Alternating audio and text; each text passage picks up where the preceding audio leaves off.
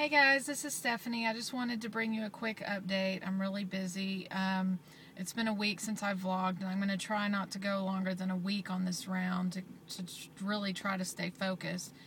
But anyway, just a quick update. Today is day 8, and I'm at 152 even today. I started out, I believe, at 157.8.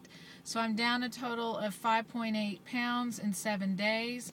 I actually probably would have been a little bit further along, but I kind of messed up the other day. It was one of my kids' birthdays, and I had some cake two days in a row, which put me up about a pound. So I lost two days in there. Um, my own fault. What are you going to do? I mean, it's life.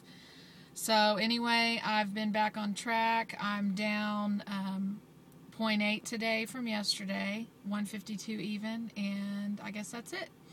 So just wanted to get a quick vlog in here and tell you guys how I'm doing and say hi to everybody.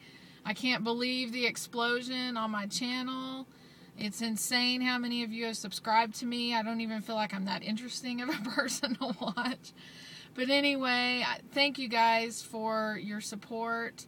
And I will try to watch everybody else's vlogs when I have time. I'm just so lacking in time right now. It's just crazy. But I appreciate each and every one of you. I really do. Um, so I guess that's it.